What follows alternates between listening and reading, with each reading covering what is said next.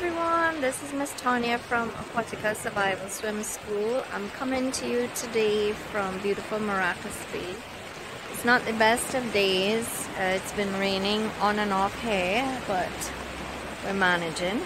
Now what I wanted to talk to you all about today is a little bit of water safety from what I've observed. So even though it is a Monday, there are quite a number of people on the beach. Lots of little ones um, in the in the water playing and waiting.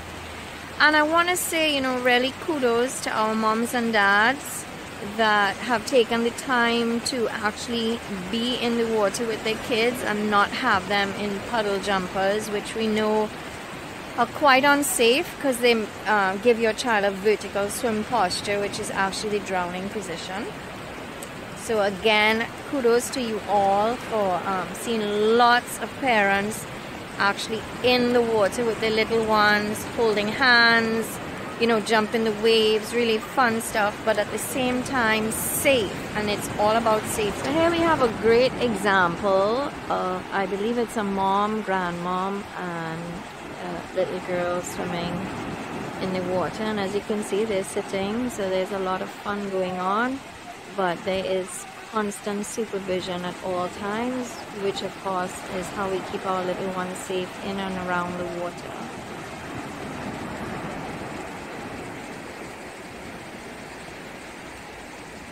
You see, this is, we've got quite a few people at the beach today enjoying what Trinidad has to offer at Maracas Bay.